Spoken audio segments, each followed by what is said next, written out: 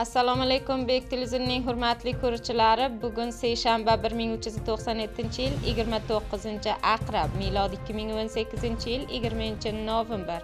Shu soat yangiliklarni men sun'iy oydin sizlarga taqdim qilaman. Javzijon viloyatining bilan martabali rasmilari bu viloyatda shar bo'yicha tanzim loyiha amalga oshirilgani haqida xabar berganlar. Shibirg'on shahardorligi tomonidan qo'lqarovchilar muayyan yerda borgandan keyin bu shahar muntazam bo'lganligi ko'zga ko'rinadi. Ammo boshqa tomondan bir qator qo'l sotuvchilar bozor yo'qligidan shikoyat qilib so'nggi uch kun jarayonida o'n ming afg'oni ziyon ko'rgani haqida so'z yuritganlar. Doktor abdullo abdullo afg'oniston ijroiya raisi porisda safar qilgan.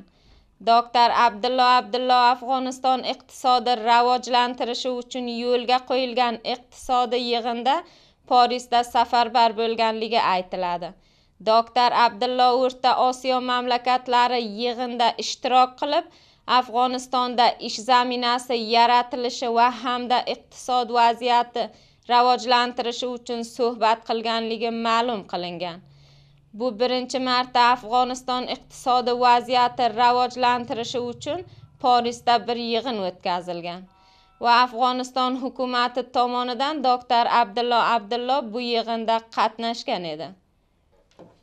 Bugun javzijon viloyatida ayollarga qarshi zo'ravonlik mezoni kamayishi to'g'risida bir kampaniya o'tkazildi. Bu kampaniya xalqaro birlashgan inson haq va huquqlari bo'yicha komissiyonining yordami bilan javzijon viloyati ayollar bo'yicha riyosati tomonidan javzijon viloyati mahalla rasmilari madaniy jamoatchilik faoli va bir qator ayollar huzurida yo'lga qo'yilgan. Bu kampaniyadan maqsad jamoaning ayollar haq va huquqidan xabardor qilish deyilgan. O'tgan 24 soat jarayonida afg'on milliy kuchlari tomonidan afg'onistonning notinch mintaqalarida 11 amaliyot yo'lga qo'yilgan. Bu amaliyotlar esa qurolli toliblar uchun yo'lga qo'yilgani aytiladi. Aytilishicha bu urushlar oqimida turuvchilardan 38 tasi nobud etilib va 34 tasi ham yarador bo'lgan. Shikago shahridagi shafoxonadan uyushtirilgan hujumda to'rt kishi o'z jonlarini qo'ldan bergan. Bu voqeaga ikki kishi ayol bir polis shomil va voqea omili ham o'z jonini qo'ldan berganligi ma'lum qilingan. Haligacha voqea omili o'z hayotiga nuqtai poyon qo'yganligi va yo ham polis tomonidan o'ldirilganligi haqida hech qanday ma'lumotlar qo'lda emas.